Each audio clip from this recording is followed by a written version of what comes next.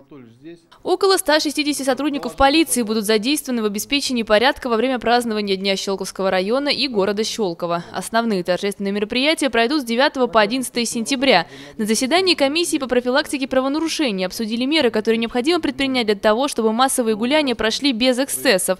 Места проведения будут обследованы кинологами-собаками, а в период празднования будет создан мобильный резерв сотрудников полиции. Мы уже в администрации Щелковского муниципального района и главам городских и сельских поселений направили письма о недопущении розничной продажи алкогольной и спиртсодержащей продукции, в том числе пива, других слабоалкогольных напитков, а также иных напитков в стеклянной таре на объектах торговли и питания, расположенных в непосредственной близости от мест проведения праздничных мероприятий.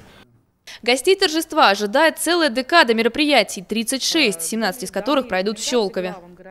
Наиболее крупные мероприятия запланированы с 9 сентября по 11. И центральными площадками для которых станут универсальный спортивный комплекс Подмосковья, детский городок на улице Комарова, площадь Ленина, улица Парковая, городской парк культуры и отдыха, Щелково 7, зона отдыха о, о, о, озера, а, Щелково, улица Бахчеванжи и Щелково, улица Супруна.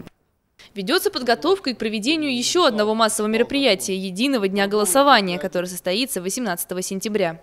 Непосредственно перед днем голосования все избирательные участки также будут проверены с кинологом. Это обязательно.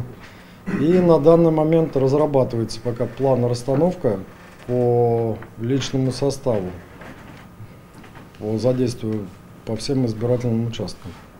Также на комиссии обсудили проблему торговли алкогольной продукцией в запрещенное время. Нерадивых предпринимателей пригласили на заседание. В их магазинах продавали алкоголь после 11 вечера, что запрещено законом. В отношении тех, кто уже не первый раз выходит за рамки законодательства, будут предприняты соответствующие меры. Администрация направит ходатайство в Роспотребнадзор о лишении магазинов лицензии на торговлю алкогольной продукцией. Все задачи, которые будут в решении комиссии, будут выполняться строго по времени и месту, которое будет запланировано в данном направлении.